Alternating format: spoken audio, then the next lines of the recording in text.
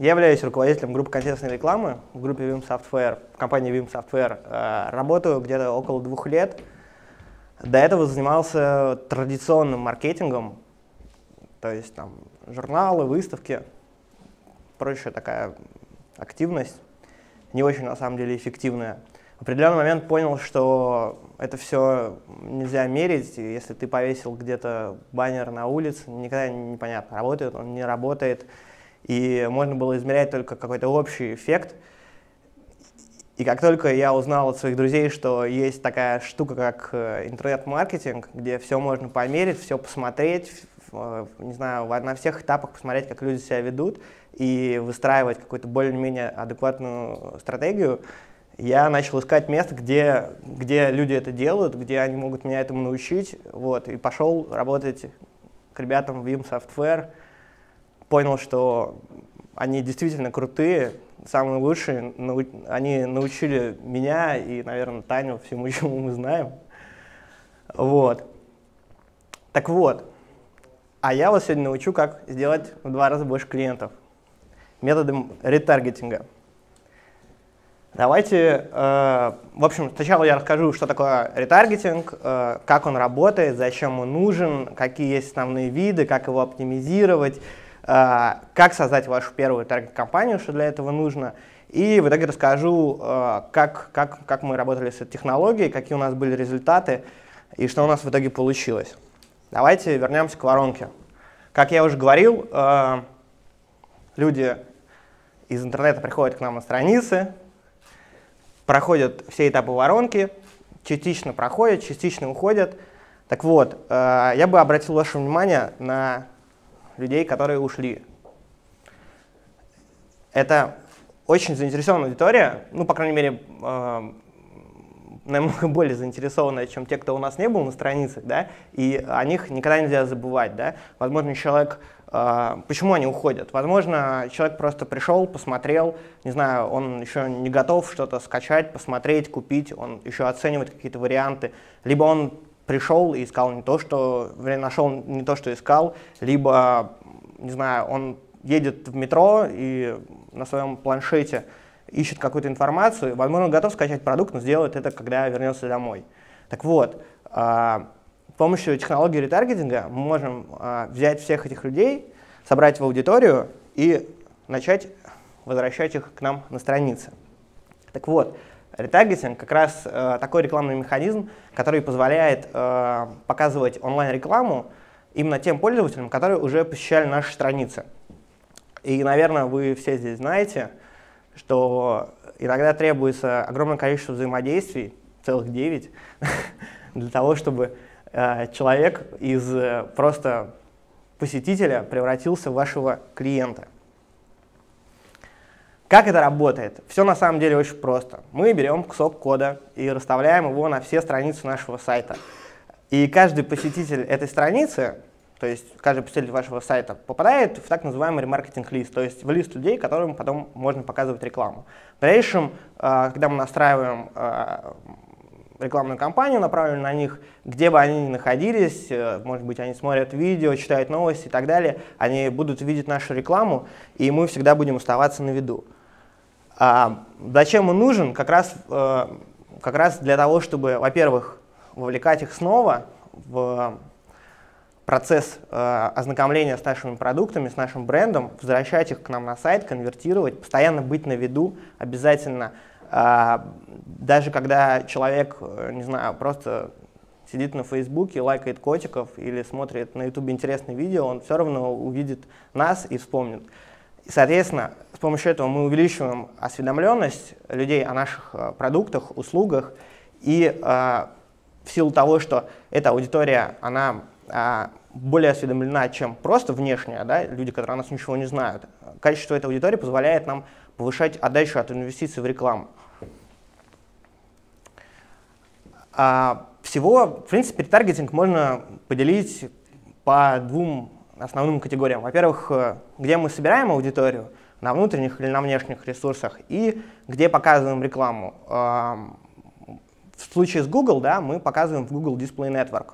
Google Display Network — это такая э, сеть ресурсов, да, которые продают э, свои рекламные площади рекламодателям через Google. Эта сеть, она насчитывает миллионы, миллиарды ресурсов и, соответственно, является для нас приоритетом, потому что она самая крупная. Но а, есть специфические ресурсы типа Твиттера, Фейсбука, не знаю, ВКонтакте и так далее, которые закрыты от а, Google Display Network, соответственно, а, с ними нужно работать отдельно. То есть показываем мы либо в широкой сети, либо на специфических ресурсах. А, первый тип э, ретаргетинга — это сайт-ретаргетинг, как раз то, о чем я вам рассказывал. Вы размещаете код на всех страницах или на тех страницах, на которых, с которых вы хотите собирать пользователей в ремаркетинг-лист. Эм, человек э, уходит, не совершает никаких действий, потом видит рекламу, возвращается, конвертится, все хорошо. Также можно вот этот кусок кода, который собирает аудиторию, размещать не только на наших страницах, его можно а, пришивать в письма. То есть, к примеру, вы присылаете письмо, человек его открывает, прогружает картинку или несколько картинок, там, неважно, и, в общем, попадает в аудиторию. В случае с uh, Dynamic Retargeting uh, все то же самое, что и сайт email retargeting, просто эта технология позволяет нам а, делать кастомизированное объявление. Допустим, у вас сайт по продаже одежды, и э, пользователь пришел, посмотрел ботинки и, допустим, очки. Они ему понравились, но он там, добавил их, к примеру, в корзину, но не купил, ушел. И в дальнейшем, когда он будет э, серфить по интернету, он будет видеть именно там, те очки, которые он смотрел, там, те брюки или ботинки, которые ему понравились. Соответственно, как это работает? Э, вы размещаете особым образом свои страницы для того, чтобы ретаргетинг-провайдер понимал, какой именно продукт или услугу просматривал человек, и э, в дальнейшем на стороне ретаргетинг-провайдера формируется кастомизированное объявление, которое показывается пользователю. Соответственно, э, этот тип ретаргетинга, он довольно эффективен в силу, в силу того, что объявления максимально кастомизированы, и вероятность конверсии, соответственно, покупки у вас, она возрастает.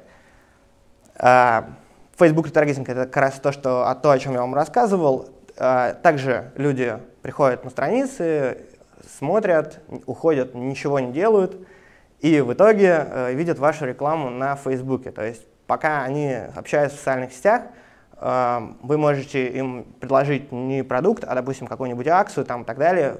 Социальные сети очень хорошо работают для промо. Соответственно, вы можете оставаться там, где находится ваш потенциальный клиент. А search retargeting, он отличается от всех предыдущих типов э, тем, что аудитория, которую вы собираете, это не те люди, которые были на ваших страницах, а те, которые э, искали какие-то определенные ключевые слова. Допустим, человек искал фиолетовые ботинки, да, не знаю, он увидел вашу рекламу, увидел э, выдачу там, страницы в, органическом, э, в органической части э, серпа, но никуда не кликнул, пошел искать желтый, красный, ну неважно, там какие-то другие ботинки или вообще там пошел на Facebook. Зная, что он это искал, мы можем на него направить рекламу, и зная, что ему это возможно и интересно, э, показать ему наше объявление, сделать предложение и, соответственно, э, повысить конверсию по сравнению с тем, что если бы мы просто покупали показы на каких-то ресурсах. Эм, такая же история с э, similar retargeting. Когда вы создали какой-нибудь ремаркетинг-лист, допустим, аудиторию людей, интересовавшихся фиолетовыми ботинками, и э, она насчитывает, допустим, 5000 человек. Э, в течение 30 дней э, в интерфейсе Google вы увидите аудиторию, которая будет называться similar, то есть аудитория похожих. А, когда вы создали новую аудиторию, Google автоматически начинает анализировать ее поведение людей а, и искать людей в сети похожих на тех, что были у вас или интересовались вашими продуктами и услугами. Соответственно, это неплохой источник релевантной внешней аудитории, которая а, также о вас не знает. Соответственно, э, ретаргетинг тайпы можно разделить на две основные группы. Это ретаргетинг, который работает с внутренней аудиторией и с внешней. И, соответственно, по местам показа внутренние, э, вернее, э, крупные дисплейные сети или специальные какие-то э, ресурсы, закрытые от Google Display Network или каких-то других крупных сетей. Почему он хорошо работает? Во-первых, потому что вы показываете правильным людям. То есть это именно та, та, та аудитория, которая интересовалась вами или вашими продуктами, или продуктами похожими. Соответственно, это максимально релевантная аудитория.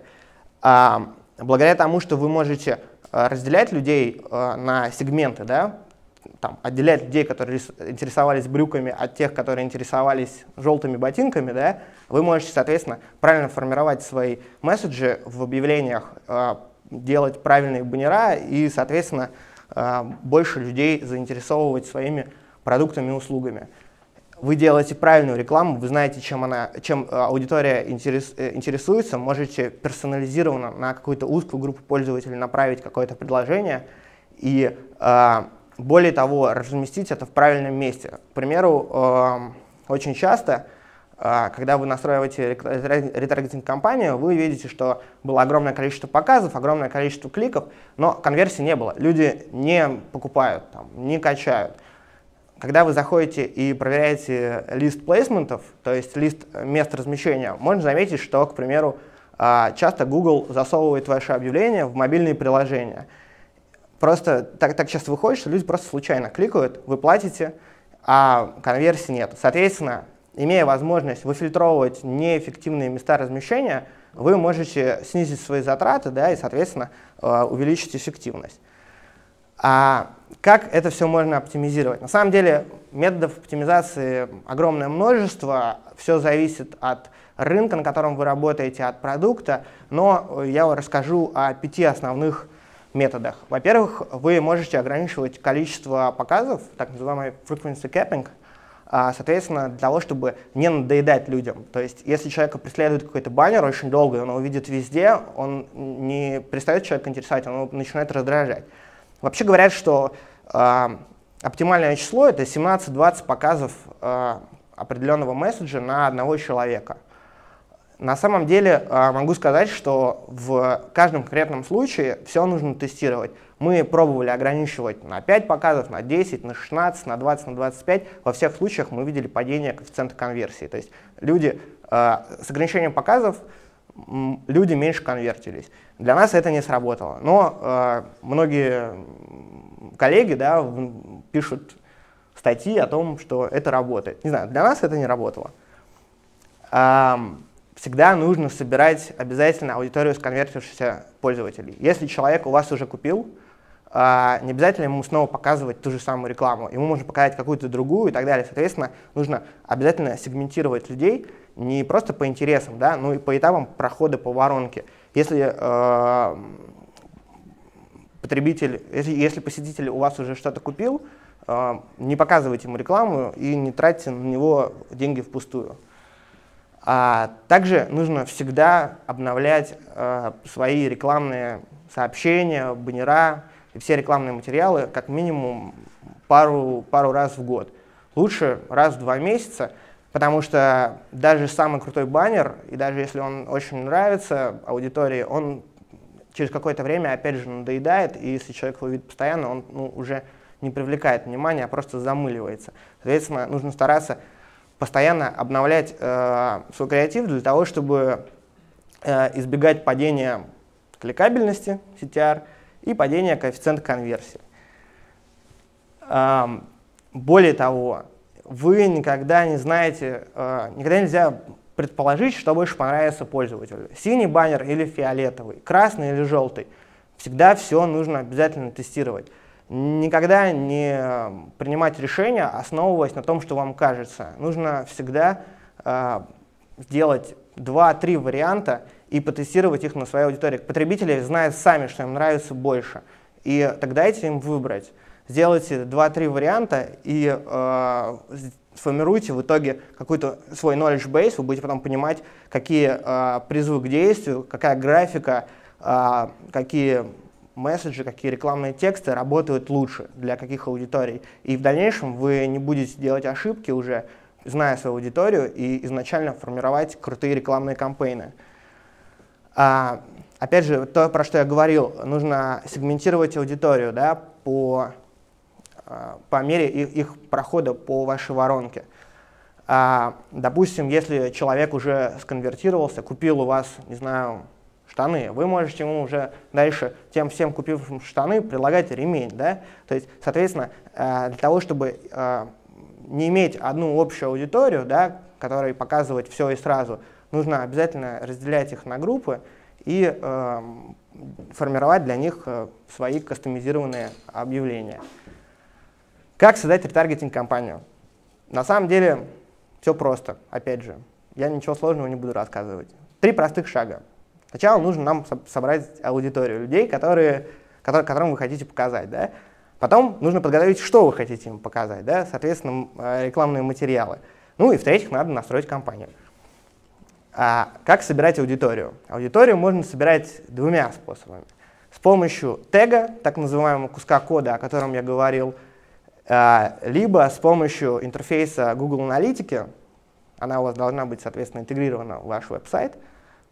А, в общем, два способа. Что касается uh, rule-based, да, то есть создания аудитории с помощью правила, вам потребуется расставленный код Google Аналитики на всех страницах вашего сайта. Все просто, вы заходите в раздел ремаркетинга Google Analytics и имеете возможность создать аудиторию. Вы можете делать ее по разным признакам. По страницам, которые они посещали, по типу действий, которые они совершали. А, допустим, в общем, комбинаций огромное множество. Нужно помнить, что ваш аккаунт Google Аналитики должен быть обязательно прилинкован к аккаунту э, Google AdWords, для того, чтобы две системы могли обмениваться данными, соответственно, аудитории могли собираться. С э, стандартным способом сбора аудитории с помощью тега все еще проще. Вы приходите, заходите в Google AdWords, он генерирует вам э, специальный кусок кода, который вы размещаете на страницах, на всех или там, на определенной группе страниц, с которых вы хотите собирать э, аудитории. И, собственно, все, аудитория начинает собираться и работать. Подготовляем рекламные материалы. Во-первых, вам нужна посадочная страница. Да? А, во-вторых, вам нужны объявления, да, которые вы будете где-то размещать. Это могут быть баннеры, это могут быть текстовые сообщения, это может быть какое-то видео. А, форматов огромное множество. Но в любом случае вы должны иметь в виду, что вам это все понадобится. Ну и в-третьих, вам нужно настроить ретаргетинг-компанию. Я не буду удаля, вдаваться в подробности, если у вас будут вопросы, вы зададите их после. Но на самом деле, э, на чем я бы хотел бы остановиться, во-первых, э, если вы собираете аудиторию со всего мира, допустим, э, всех посетивших ваши страницы, потом, создавая ретаргетинг-компанию, вы можете ее нацелить на людей, которые на, находятся в определенной локации, либо людей, которые говорят на определенном языке, либо людей э, определенного возраста и так далее. Соответственно, вы можете э, выбрать любые демографические, географические настройки аудитории, которые вам нравятся, то есть сегментировать ее уже после сбора да, по каким-то признакам. И еще один момент, на что я хотел бы обратить ваше внимание, это всегда нужно изолировать бюджеты одних компаний от других. Соответственно, если вы э, имеете две аудитории, допустим, аудитория ваших посетителей и аудитория похожих людей, да, а они на самом деле ведут себя по-разному и по-разному э, конвертятся, да, по-разному совершают э, нужные вам действия. И зачастую бывает, когда э, вы настроили компанию, смотрите, у вас огромное количество показов, кликов, конверсии нет. Заходите, смотрите, что на самом деле все показы идут на аудиторию похожих людей, которым на самом деле не очень интересно, допустим. А аудитория ваших людей просто недополучает э, бюджета на показы. Поэтому всегда нужно делить по языкам, по э, методу таргетинга и так далее, и так далее. Чем э, глубже деление, тем на самом деле лучше на первых этапах, потому что вы всегда сможете понять, что для вас работает, что не работает, какие э, аудитории лучше, какие хуже. Допустим, зачастую бывает, что э, вы настроили компанию на людей, которые э, говорят на английском языке, но вы забываете о том, что э, есть огромное количество людей, допустим, в той же, не знаю, к примеру, Англии, да, которые говорят на любых других языках. Да? Они, возможно, не указали в настройках своего браузера, что они говорят э, на английском. Но они его прекрасно знают, и, соответственно, им тоже можно показывать рекламу. Создав две компании, которые будут нацелены, одна на англоговорящих, другая на тех, кто не говорит на английском, вы всегда сможете понять, сколько вы теряете, допустим, если вы исключаете да, не англоговорящих, и э, понять, что, что лучше работает, что хуже. А, как мы работали с ретаргетингом? На самом деле а, это было где-то в конце 2011 года. Мы, у нас была проблема, как у всех маркетологов. Нам нужно было как можно больше лидов. И мы долго думали, искали, где бы их взять, потому что у нас было подозрение, что мы не так хорошо работаем с аудиторией, как нам хотелось бы. И, в общем, проведя небольшой анализ, мы поняли, что за 2011 год из 3 миллионов посетителей э, конверсию совершили где-то около 8%. Соответственно, 92% людей ушли и не вернулись. Потом мы посмотрели, э, кто были эти 8%. Из них 39 э, оказались повторно вернувшиеся. И более того, они в два раза больше времени проводили на нашем сайте, то есть они были более заинтересованы. И из этого мы сделали вывод, что если а, мы а, сможем с помощью рекламных а, технологий вернуть людей к нам на сайт, мы увеличим отдачу от наших инвестиций и получим дополнительно, дополнительные конверсии. Как минимум плюс 39%. Так вот, мы, первое, что мы сделали, это мы выбирали ретаргетинг провайдера. В нашем случае мы выбрали в первую очередь Google AdWords, потому что мы уже с ним работали, и соответственно, продукты Google для нас э, более релевантны в силу того, что наши потребители пользуются этими продуктами чаще.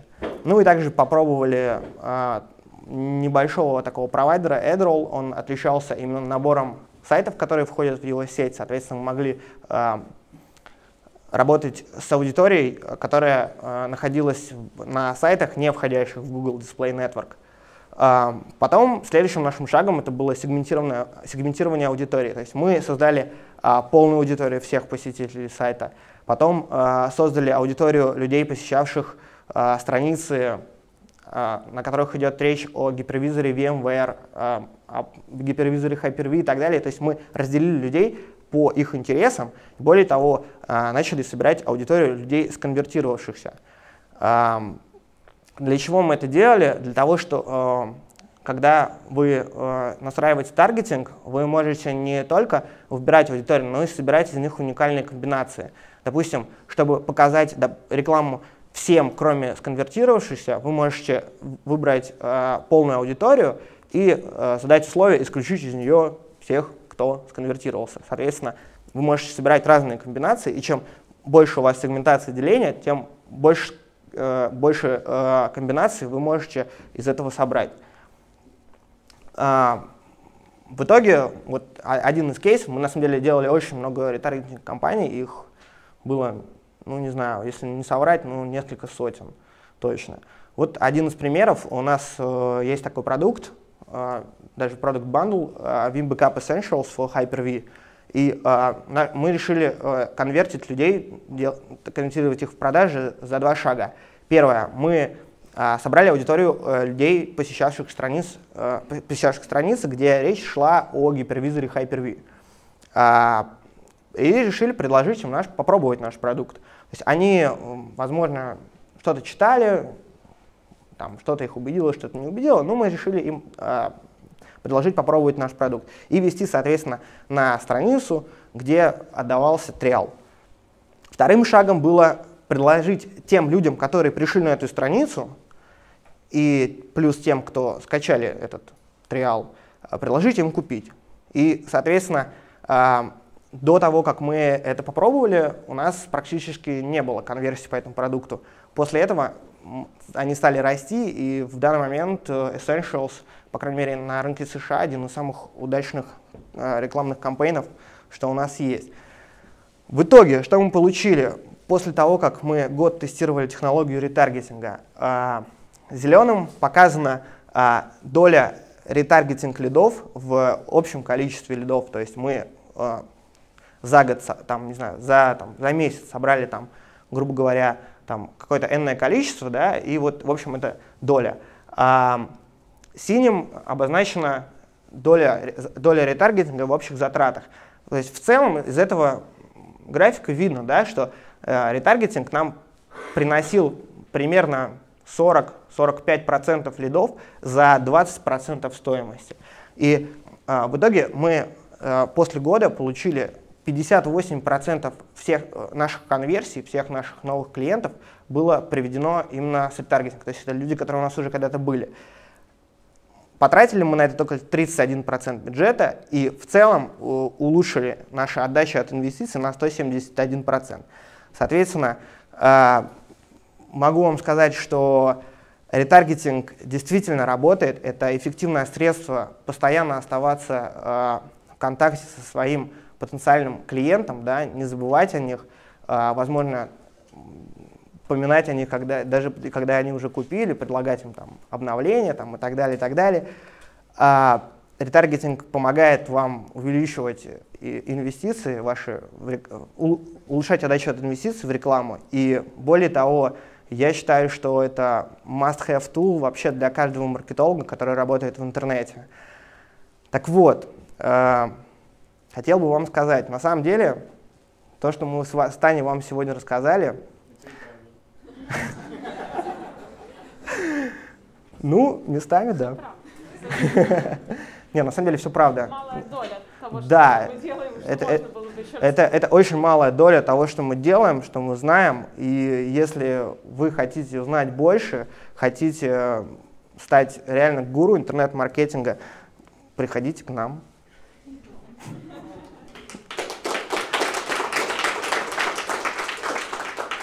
Вопросы? Да, у меня есть вопрос. А, ребята, вот тема сегодняшней лекции а, интернет-маркетинг, да? Да. А, обе ваши презентации вы говорите про веб-сайты, про продвижение веб-сайтов. Что Да. насчет мобильных приложений? Ведь это же тоже интернет-рынок.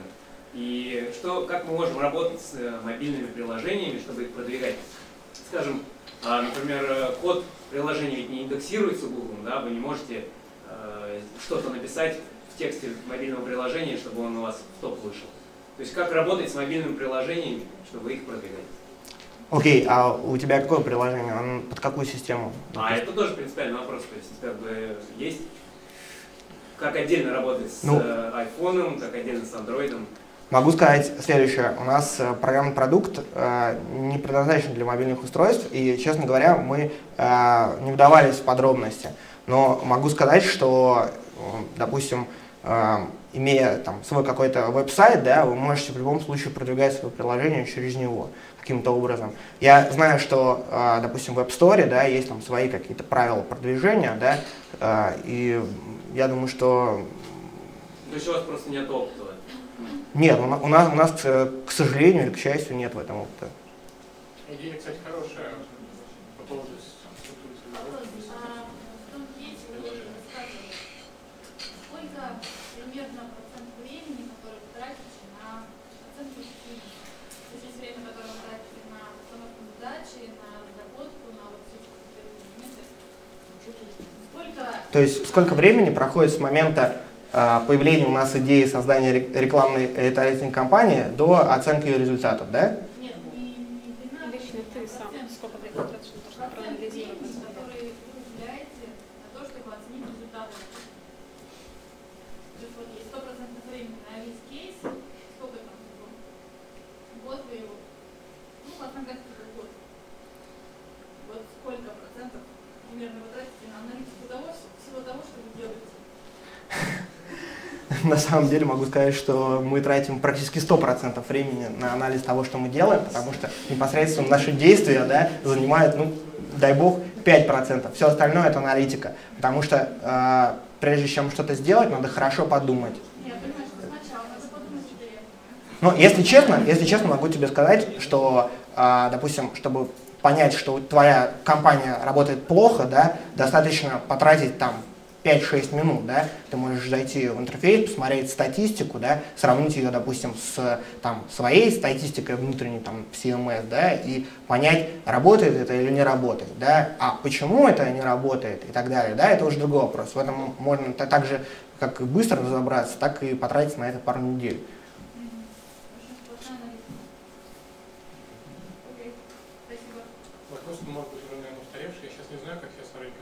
есть кросс-договора, например, с GPRV или там с VMware на кросс-рекламу? Они вас показывают, а вы их? А, нет, таких договоров нету. Более, того, Да, более того, VMware, VMware, они запрещают нам на некоторых рынках использовать слово VMware в, их рекла- в нашей рекламе. Соответственно, если мы хотим на баннере написать, что мы number one backup solution for VMware, мы так не можем сделать, нам приходится писать vSphere. То все не знают, что такое VSP.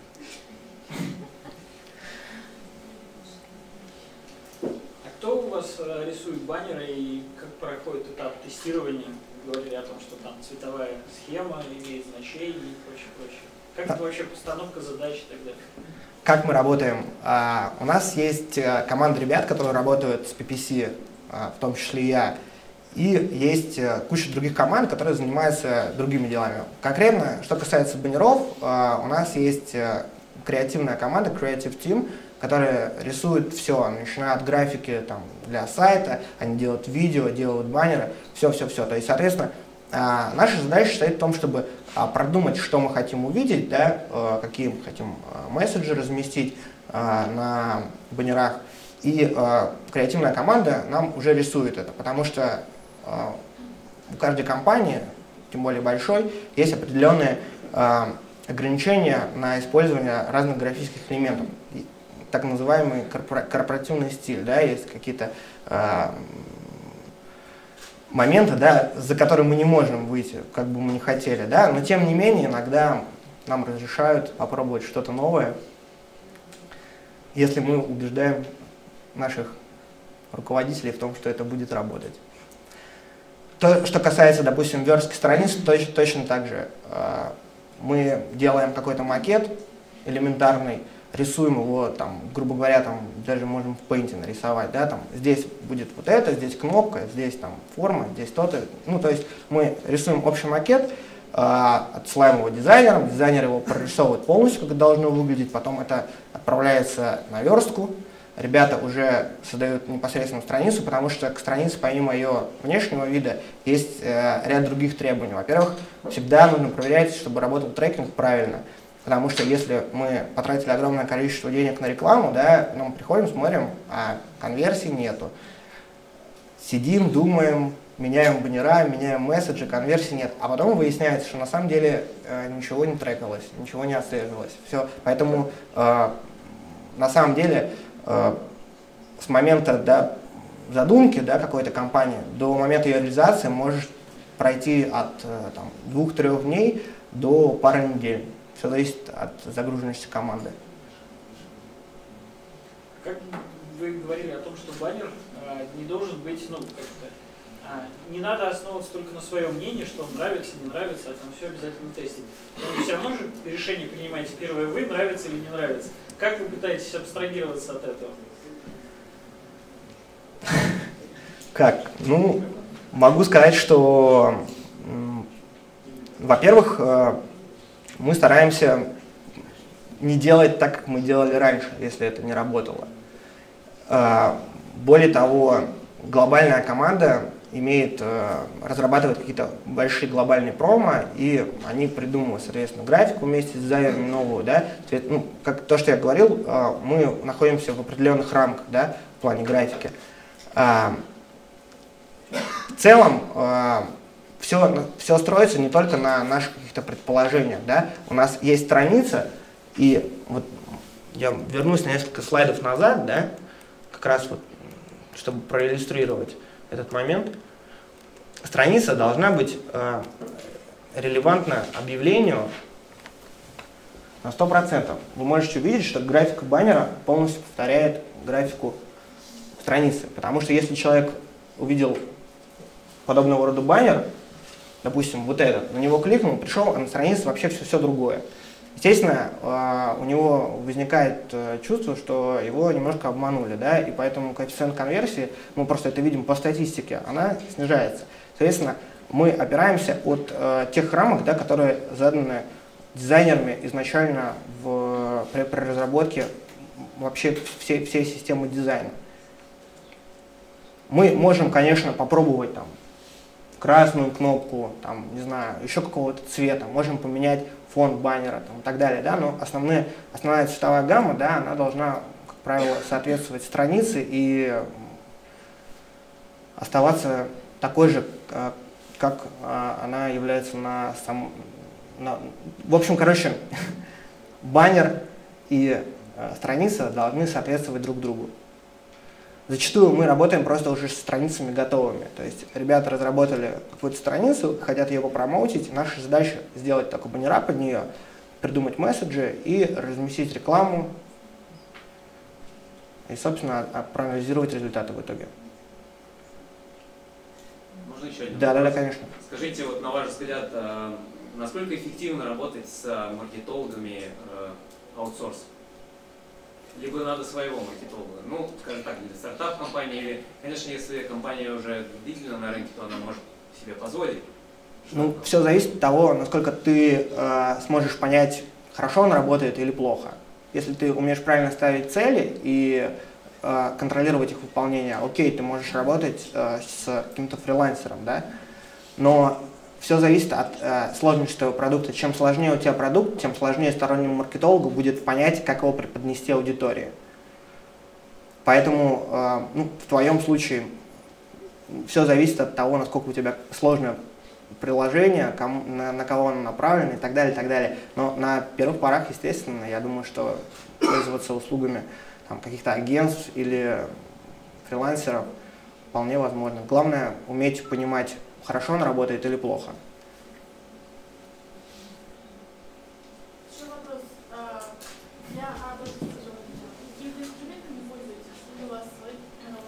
А, Что касается и тестирования рекламных сообщений, все можно сделать в интерфейсе практически любой рекламной площадки.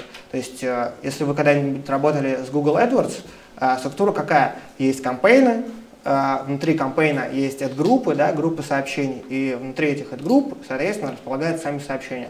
Вы можете либо в рамках одной группы туда загрузить сразу 4 различных баннера, да, либо можешь сделать 4 комплекта баннеров и залить их в 4 разные группы. И, соответственно, просто потом сразу же зайти в рекламную кампанию и увидеть по статистике, что работает лучше. То есть э, особых инструментов не требуется. Что касается теста страниц посадочных, то в последнее время довольно неплохо пользоваться э, встроенным э, встроенным функционалом Google Analytics. Там есть э, такая, такая фича, которая позволяет э, тестировать страницы. Но на самом деле мы пользуемся Visual Website Optimizer, он работает лучше, и э, с ним работать проще значительно. Есть, то есть все зависит от вашего бюджета. Если у вас нет денег, пользуйтесь бесплатными, которые предоставляет Google. Если есть деньги, ищите то, что вам нравится больше. Visual Website Optimizer. Да? Ну можно триалкой попользоваться. Называется? Контент-эксперимент. Да, Content Experiments. Там такой раздел есть. Да. У меня как раз был вопрос, а, который связан вот с тем, Мгм. какой бюджет на все эти штучки у вас? Какой бюджет у нас? Ну, в среднем на компанию. О, а, на компанию гигантский, Ну, скажите, если не очень секрет. большой. Очень большой. Да. Да нет, на самом деле, на самом деле, эм, бюджет, который вам понадобится, если вы для себя интересуетесь, да, он на самом деле зависит от множества факторов, да, от рынка, да, где вы хотите показываться. Допустим, показы в США стоят в два раза дороже, чем в Европе, а в России они в три раза дешевле, чем в Европе. То есть все зависит от того, где вы хотите показываться и на каком месте вы хотите располагаться, потому что э, ставка, которую вы делаете, на каждый показ объявления или на клик, или в зависимости от того, какую модель оплаты вы выб- выберете, она зависит там, от множества факторов, в том числе от релевантности вашей рекламы. И, то есть если аудитория, э, допустим, ну, ретаргетинг это классический пример э, дисплейной рекламы, да, э, если люди не кликают на ваше объявление, цена вашего клика начинает дорожать, потому что Google делает вывод о том, что вы показываете не то, и это неинтересно. Бюджет может, бюджет может быть там, от э, 2000 рублей в месяц до 2 миллионов долларов.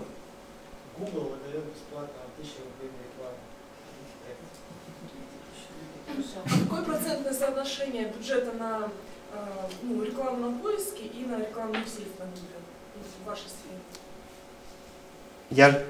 Так, все, подожди, я вернусь просто к последнему графику. На нем как раз и показано, да, что э, на ретаргетинг мы тратим ну, максимум 20% бюджета, все остальное поиск. При всем при этом э, около 45% э, конверсии мы имеем именно с ретаргетинга. Но э, поиск, про него не стоит забывать, это источник прихода новых людей. То есть без аудитории, которая к вам приходит, у вас не будет формироваться ремаркетинг-лист. То есть вы фактически с помощью поиска заливаете людей в ремаркетинг-листы, а потом э, снова им показываете с помощью ретаргетинга рекламу. А вот еще вопрос тоже примерно про это. Э, значит, вот есть CTR у компании, и стоимость клика растет, если CTR низкий, да?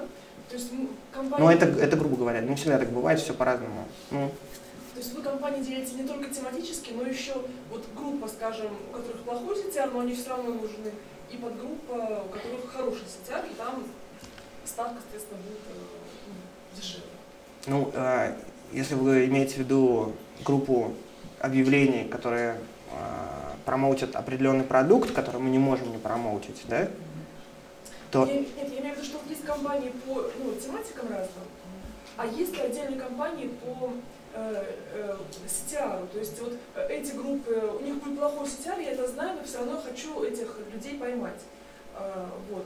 А вторая, там CTR хороший, чтобы их не мешать. В любом случае, в любом случае, я понял вас, в любом случае вы всегда задаете максимальную цену, которую вы готовы платить за клик.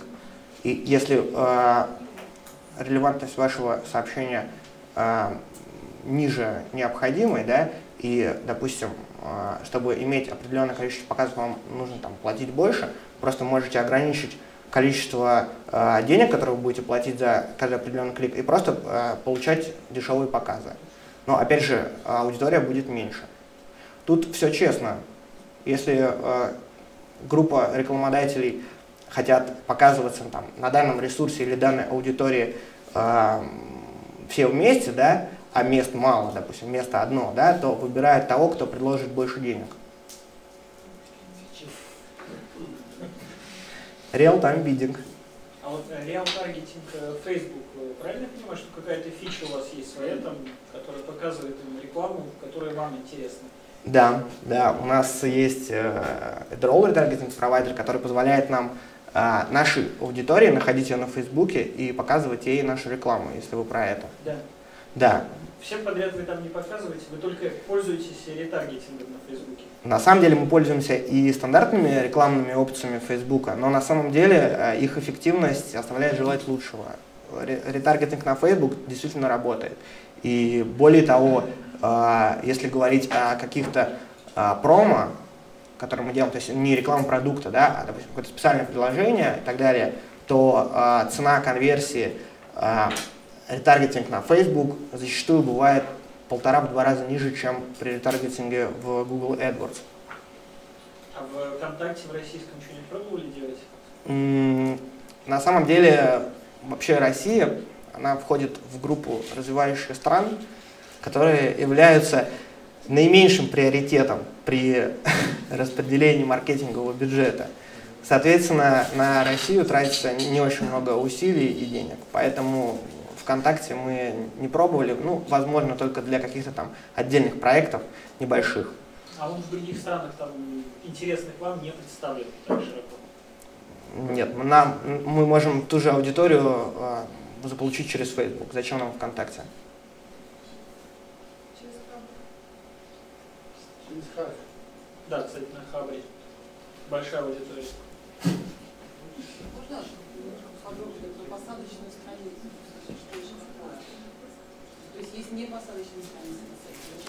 Вы правы, да. Смежный вопрос. Иногда, допустим, крупная компания, допустим, какие-нибудь редакторы сделают для отдельных кроссовок отдельный сайт.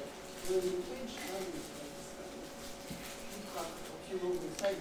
ну, смотрите, я понял ваш вопрос. Допустим, у, вашей, у вас есть веб-сайт, да, и на этом веб-сайте есть страница, которая посвящена, к примеру, кроссовкам. А, на этой странице у вас наверху будет навигационная панель, справа будут какие-то а, блоки с новостями, с твитами, внизу будут а, social share buttons, да, и так далее. То есть у вас а, ваша страница, а, которая направлена на людей, которые ходят по вашему сайту, собирают информацию, да, она оптимизирована под максимальное удобство навигации. А когда э, вы э, сажаете людей с рекламных сервисов на вашу страницу, человек откликнулся на определенное сообщение, да, и он пришел, и ваша задача не оставить ему возможности оттуда уйти. Ваша задача, чтобы он сконвертился. Соответственно, никаких лишних ссылок, никаких навигационных панелей и так далее. Соответственно, просто назначение этих страниц, оно различается. Поэтому а, есть а, страницы а, для которые являются частью сайта, да, а есть посадочные страницы, которые работают только на то, чтобы делать вам конверсии. Это правильно. Просто если, э, к примеру, в нашем случае, да, если мы сажаем людей просто на наш веб-сайт, на разделы сайта, которые посвящены продуктам, конверсия в 8 раз ниже, чем если мы их сажаем на определенные страницы без лишних ссылок, навигационных панелей и прочего. И есть ли способ покинуть страницу купить? А если ты не может Нет, ты можешь просто скачать триал. Если это информационный ресурс, например, там есть понятие посредственности? Окей, если это информационный ресурс, то э, вы должны ответить на вопрос сначала, что для вас будет считаться конверсией. Я не знаю, подписка. Но если, понимаете, понимаете, в чем вопрос? Вот э, у вас информационный ресурс. Вы хотите, чтобы люди на него подписывались, так? И, э, допустим, человек, э, не знаю, что-то ищет в интернете, какие-то новости, да, он к вам приходит, он вас считает, э, вы ему нравитесь, он на вас начинает подписываться, да. А если вы хотите его агрессивно заставить подписаться, да, на вас, то вы его должны посадить именно на страницу, где будет форма подписки и будет расписано, как круто вас считать и какой у вас интересный контент, да. То есть э, здесь нужно работать не только с рекламой, а вообще, в принципе, использовать все возможные инструменты для того, чтобы увеличивать конверсию. Понимаете? Дело в том, что э, не, все, э, не всех клиентов делают PPC далеко, да, то есть там, мы имеем какую-то определенную долю, не очень большую. Огромное количество людей э, приходит с офлайн ивентов огромное количество людей просто ищет что-то, читают статьи какие-то, э, находят э, наши страницы в результатах поиска, да, приходят и качают наши продукты. То есть реклама это не все. А еще про посадочные страницы. Вы их всегда делаете отдельно или это обрезанная там какая-то другая страница? а, Нет. просто- кастомизированная слегка, там, не знаю, и ссылочка добавлена. Мы, во-первых, всегда их делаем отдельно, они, это не является обрезанной страницей. Зачастую, а, допустим, если мы говорим о поиске, да, не, не говорим о ретаргетинге, а говорим именно о поисковых рекламных кампаниях, огромное значение на стоимость клика, соответственно, на ваши затраты на рекламу является а, релевантность вашей страницы и объявлений. Если человек искал, допустим, фиолетовый велосипед, да, то у вас в сообщении должно быть написано про фиолетовый велосипед и на странице. Соответственно, а, для каждого типа продукта вам нужно делать отдельные посадочные страницы для того, чтобы просто экономить. Вы можете, конечно, сажать на homepage, да, но просто вы не будете иметь конверсии, потратить деньги впустую. Почему их на отдельных доменах часто делают, на поддоменах? Да, мы на поддомене делаем. А для- зачем? Чем это лучше, чем короткий адрес? Ну, я не могу сказать, чем это лучше или хуже, просто так исторически сложилось. Нет, но у нас все просто. Во-первых, рекламная страница обычно не участвует в э, оптимизации поисковой. Это нет необходимости ее делать на этом домене. И дальше просто чис- чисто технически мы приняли решение, что мы покупаем систему для создания э, посадочных страниц не программистами. И чтобы ее сконфигурировать, просто выбрали отдельный домен. И чтобы они не лезли в наш хороший веб-сайт, который тайно оптимизирует. А как-то телефонные звонки вы привязываете к статистике т- телефонные звонки а, с объявлений? Ну да, с рекламой.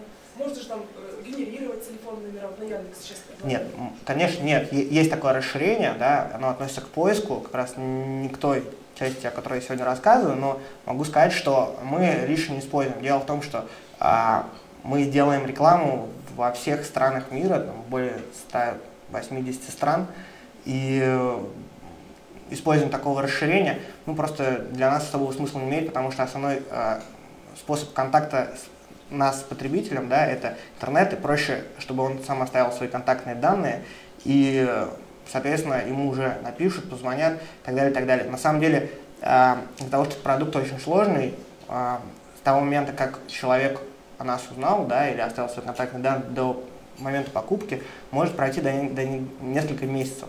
И в это время а, подключается команда нюрчеринга, так называемая, да, то есть а, они а, пытаются насытить человека контентом, да, предложить ему посмотреть разные вебинары, почитать статьи и так далее, для того, чтобы его убедить, что наш продукт лучше всех подходит ему. И только после этого с ним связывается команда sales. Вот тут прозвучало, что посадочные страницы у вас делают не программисты. Или нет? Мне казалось. Тут вы сами их делаете? Нет, программисты не делают у нас посадочные страницы. Делают э, HTML-специалисты, верстальщики. А, про верстальщики. Да. Не, не вы сами там изготовили какой-то простой инструмент.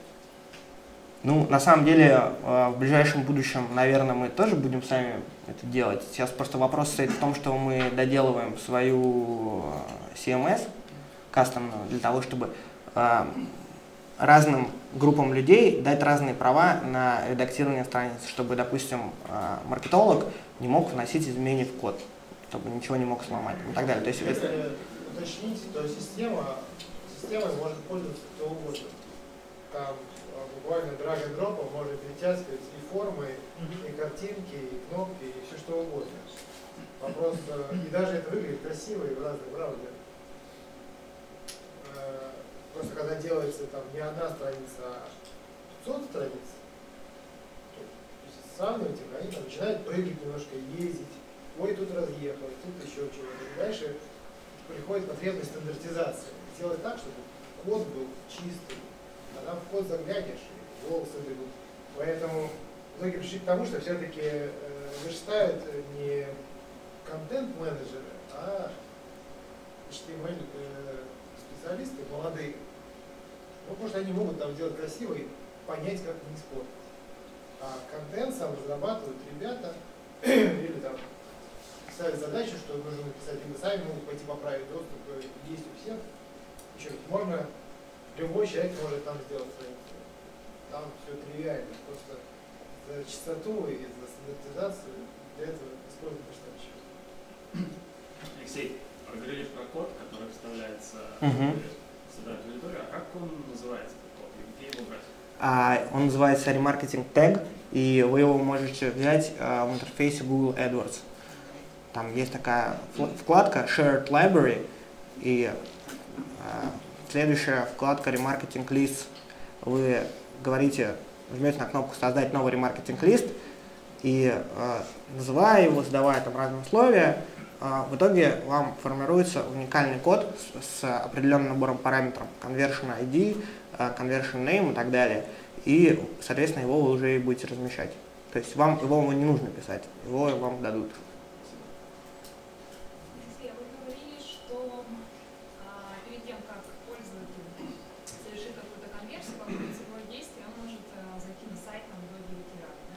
Uh-huh. помощью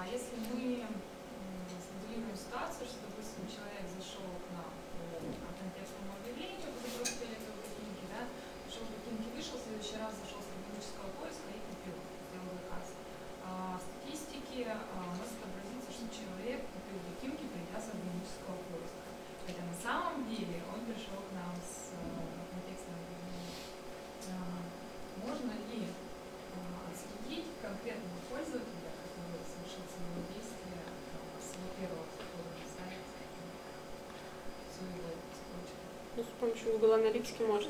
При помощи Google аналитики можно, да. Но в интерфейсе Google AdWords такого функционала нету, к сожалению. Вы можете а, анализировать не конкретного пользователя, да, а анонимизированного. То есть нельзя сказать, что это был человек с этим IP конкретно. То есть, в принципе, выше ничего не получится. Есть на самом деле возможность... А, да, есть такой, так, такой момент, но дело в том, что, э,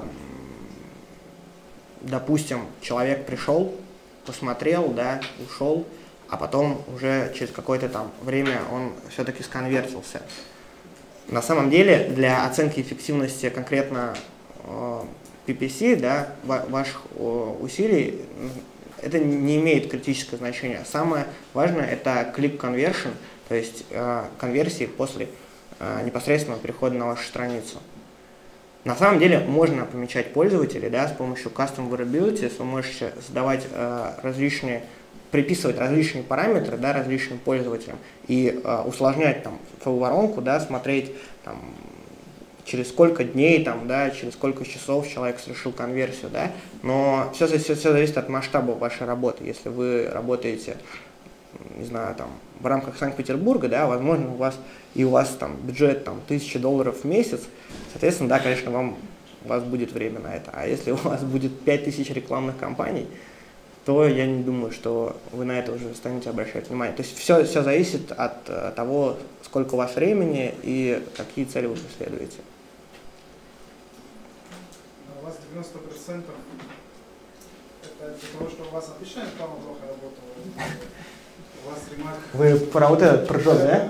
Ну, это мы только включили ремаркетинг, таргетинг, и пользователи были, видимо, очень сильно удивлены, стали, стали да, и рады, стали, стали, стали быстро качать, потому что решили, что мы наконец-таки о них вспомнили.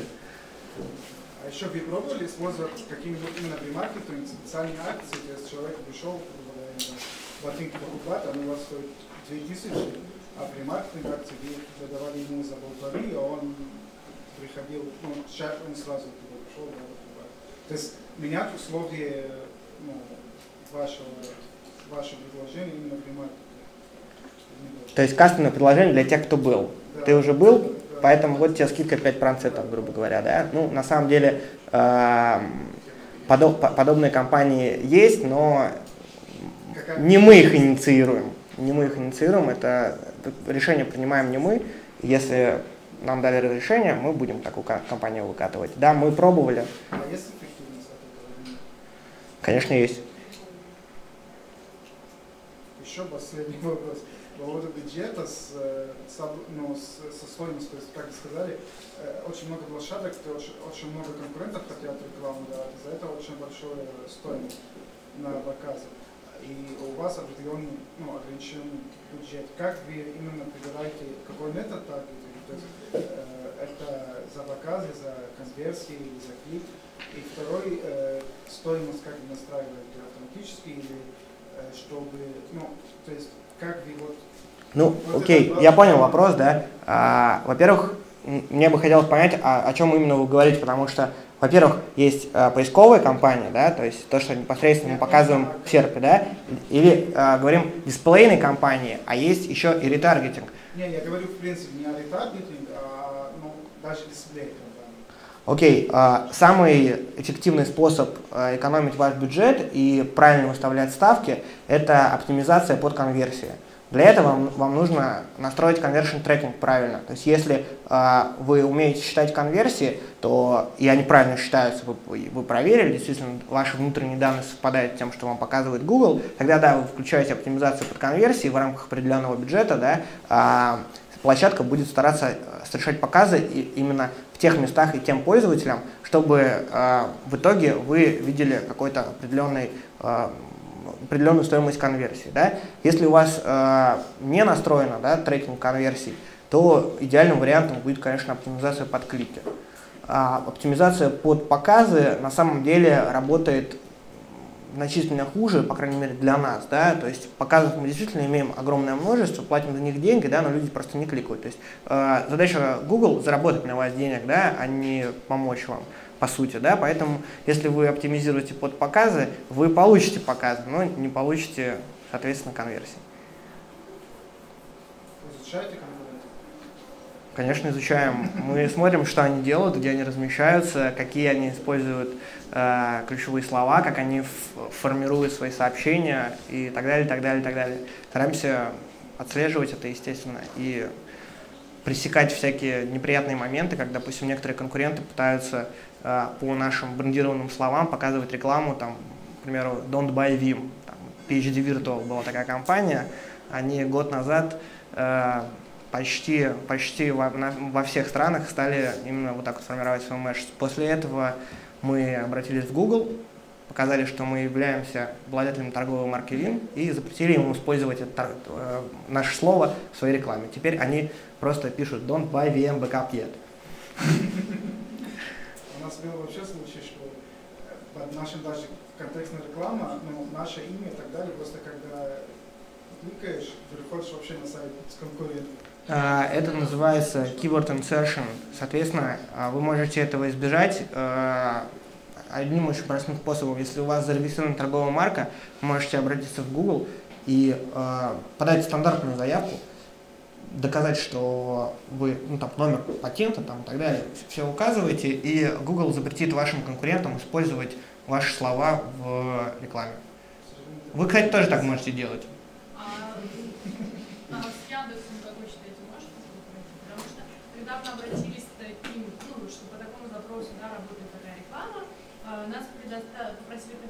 Массу ну, доказательств, каким образом мы находим такое сообщение, как мы его отслеживаем, в общем. То есть не с их стороны они предприняли там покупки там, бумаги, Это а попросили нас предоставить какие-то немыслимые материалы там находа, похода такого рек- рекламного сообщения, и тогда только они готовы были рассматривать наше обращение. Нет, ну, Надо вроде собрать это это как бы их, доказательство. их сервис, да? То есть, с Проблема была в том, что время я нашла в тот момент, когда мы, начали, мы ну, это распли, на следующий день уже эта реклама не активна была. То есть, но все уже было в прошлом, просто это может и завтра повториться.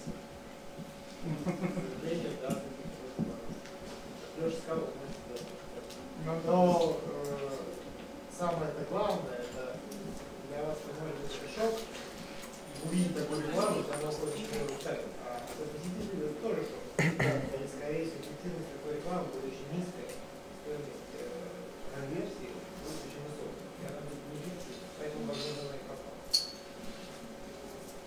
Они все приходят и попадают в ремаркетинг.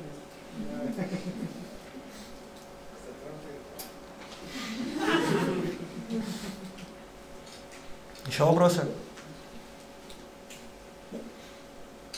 Ну, я так понимаю, что все вопросы исчерпаны. К добру ли? А теперь, теперь, теперь нам надо выбрать три самых интересных вопроса. Я начну с первого. Мне вот лично понравился вопрос про продвижение мобильных приложений. Я, честно, не знаю, что на него было ответить.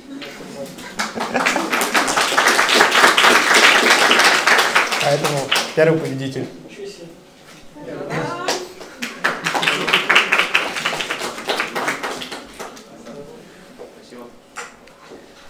Таня. Мне понравился вопрос про CMS, как бороться с тем, что невозможно в ней что-то сделать, как оптимизировать сайт.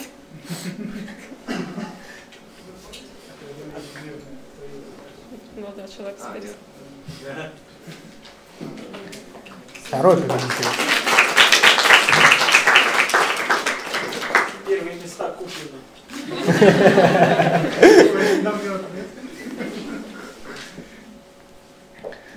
Что вам осталось подарок, он больше всех задавать. Да и я.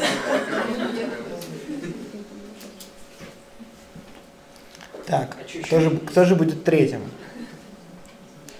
На самом деле, ребят, вы все задавали очень интересные вопросы, но нам все-таки нужно выбрать последнего человека, счастливчика. Я, я даже не знаю, у нас очень много вопросов. Э, Давайте, давайте, может быть,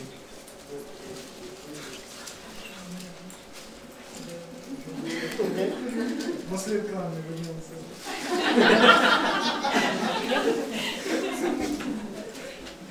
Не знаю, просто. Мне тоже самое активное было. Девушка. Да, мы решили отдать третий подарок э, самому активному участнику, самому активному слушателю. Девушка, которая сидит за, э, за нашим директором, она, она, она, она, она очень активно фотографировала наши слайды на iPad. Нам это полистило. Спасибо большое. Вы тоже задали очень много интересных и таких умных вопросов, поэтому спасибо большое, спасибо большое всем. Надеюсь, вам было интересно.